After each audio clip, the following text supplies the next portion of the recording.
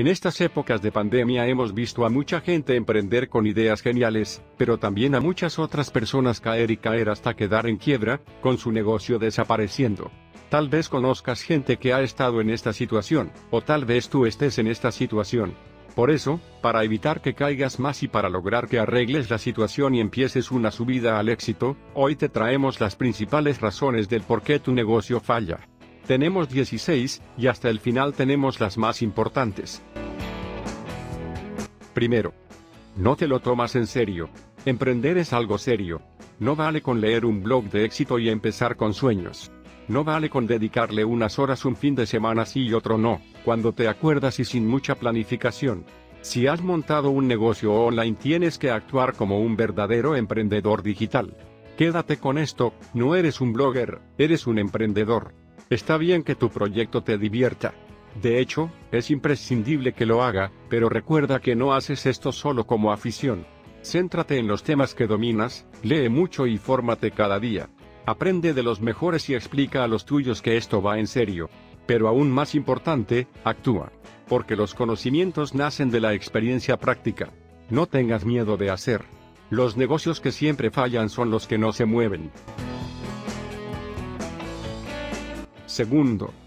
No hay estrategias. Vale. Piensa en esto, ¿cómo vas a llegar al destino si no sabes ni a dónde vas o cuál es el camino? Tan absurdo como eso es montar un negocio online sin tener claro qué persigues, a quién te diriges y cómo vas a llegar hasta tu audiencia. Eso de vendo lo que sea o lo que pueda y a quien sea, no funciona. Nunca. Y, sin embargo, creo que sigue siendo el principal problema de muchísimos emprendedores digitales. Siéntate, decide qué público necesita tu ayuda y cómo vas a solucionar su problema. Define tus objetivos y traza tu hoja de ruta para llegar a ellos. A. Y no te olvides de que tu negocio online es un proyecto vivo. Necesitarás ir adaptando tu estrategia con el paso del tiempo. Tercero, no aplicas el modelo de negocio que necesitas. Como la información antigua compite igual en Google que la información más reciente, muchos leen recomendaciones de hace años atrás que no sirven para nada sin darse cuenta. No me cansaré nunca de decírtelo, si no eres publicista online profesional, no pienses nunca que la publicidad pueda financiar tu proyecto. Diciendo esta tontería solo demuestras que ni siquiera te has parado 5 minutos para tratar de diseñar tu modelo de negocio. Cuarto. No sabes quiénes son tus clientes. Si no entiendes las necesidades de tus clientes, no sabrás aportar respuestas específicas para resolver sus problemas. Si no identificas sus miedos y sus dudas, no sabrás convencerlos para que te compren tu solución.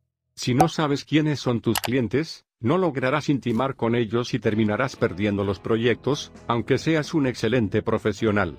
Describe con máximo detalle el perfil de tu cliente ideal y en no menos de una hoja. Valida tus ideas con clientes reales.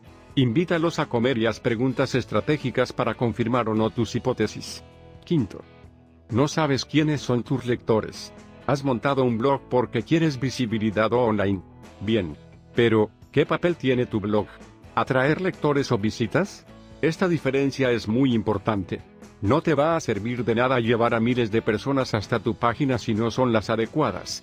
Tus contenidos deben ser interesantes y útiles para un target de lector bien determinado, que después pueda transformarse en cliente.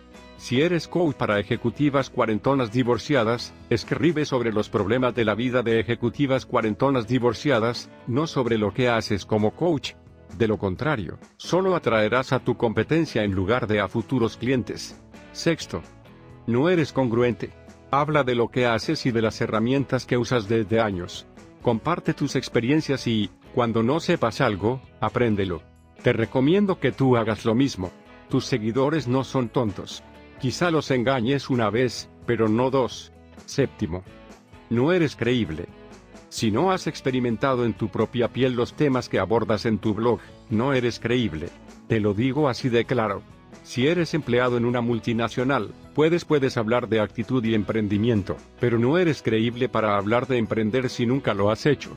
Hay cosas tan absurdas impuestas por el Estado que no lograrás entender nunca, pero que terminan forjando la personalidad de los emprendedores a pie de calle. Sin credibilidad, no hay confianza, sin confianza, no hay ventas. Octavo. No tienes autoridad. Ahora todos queremos ser mentores o coaches. Está bien. La autoridad no solo depende de la edad que tienes, sino de haber recorrido con éxito los caminos que tus alumnos quieren ahora recorrer. La autoridad tiene que ver con el respeto hacia lo que haces, que tienen tus parecidos y tus competidores. La autoridad también es una percepción del mercado. A menudo se confunde con la popularidad o el reconocimiento público. Ser un referente, sin duda, dinamita tus ventas. Tal vez menos que ser popular. Este es un buen momento para recordarte que si no te has suscrito a este canal, aproveches ahora para hacerlo y, claro, cliquea en la campanita para que no te pierdas todo este conocimiento sobre ganar dinero, finanzas, negocios y más. Noveno. No quieres intimar con tu comunidad. Escribes en un blog pero quieres preservar tu vida privada.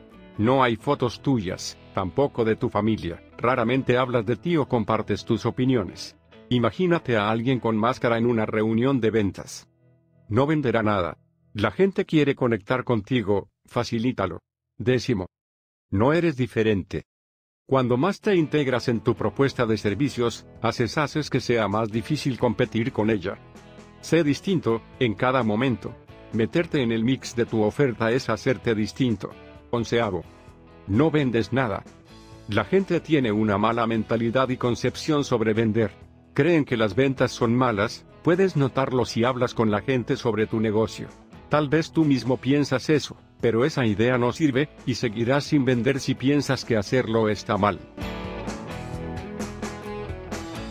Doceavo. No mides la actividad en la nube de tus activos. ¿Tienes un blog sin visitas? Es como ser dueño de una tienda de dulces frente a un colegio y dejar la tienda a un ciego. Te van a robar todo. O lo que viene a ser lo mismo, no venderás todo lo que deberías. No conduzcas tu negocio a ciegas. Treceavo. No sabes interpretar las señales del mercado. Ejemplos, si tu promedio de tiempo es bajo es que tus artículos no aportan valor. Si tu tasa de rebote crece, estás engañando si un artículo tuyo consigue 100 comentarios cuando lo normal es que consiga 10 es que has dado con un tema muy caliente para tu público. Si no respondes a las peticiones de correo que te envían, perderás leads. 14. No escuchas el mercado. Las redes sociales son una pérdida de tiempo. Ya tengo un blog, no voy a perder más tiempo, que vengan a visitarme. La gente piensa mucho eso, y esa falta de visibilidad los termina lapidando. 15. No sabes enfocarte a los temas prioritarios. Tantas cosas por hacer, tantas distracciones que al final no haces nada. Baja el tiempo dedicado a las lecturas en la red, no dejes que te interrumpan y gestiona una lista cada día con las tres o cinco cosas que quieres hacer. A cada día, su dosis justa de trabajo. Triunfar en la nube no es una carrera de velocidad, es un maratón. De hecho, es un maratón cada semana. 16. No sabes construir un trabajo de calidad. El trabajo en de calidad ha sido la base de los negocios y siempre lo será. Sal de la cueva de vez en cuando, asiste a eventos, tómate un desayuno con otros bloggers o emprendedores. Corre, no esperes más, ya sabes que está fallando, ve a salvar tu emprendimiento con todo lo que has aprendido. Y también, ¿qué esperas para suscribirte y darle pulgar arriba, y también activar la campanita? Así nos seguirás de cerca para conocer más pequeñas pero importantes claves para el dinero. Nos encantaría saber qué es lo próximo que quieres aprender, así que deja tu recomendación abajo en la cajita de comentarios. Muchas gracias por haber llegado hasta aquí. Espero volver a verlos en un nuevo vídeo.